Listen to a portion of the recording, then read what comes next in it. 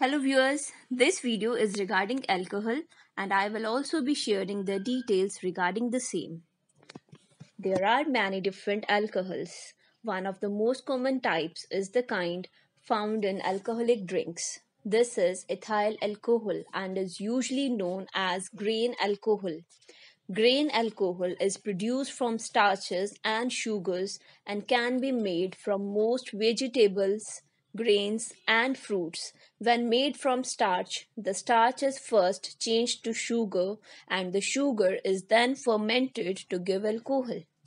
Alcohol is generally made from corn, rye, barley, and other materials.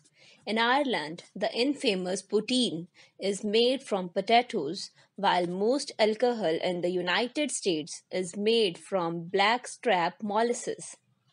Did you know that ethyl alcohol is also valuable as a fuel? It can even be used in motor cars as a substitute for petrol.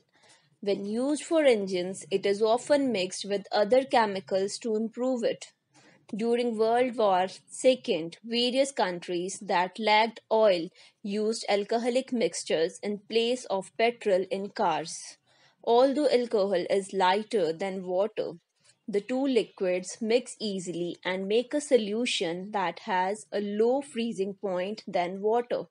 Such a solution is commonly used as an antifreeze mixture in motor car radiators.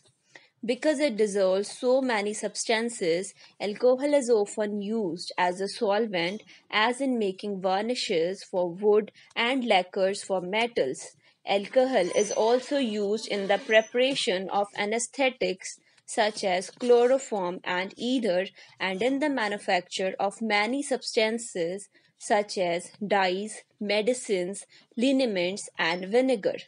Alcohol is an antiseptic and is used in museums and hospitals to preserve specimens. When taken into the body in small amounts, it unites with oxygen to give heat. Viewers, that's all in this video. Thanks a lot for watching.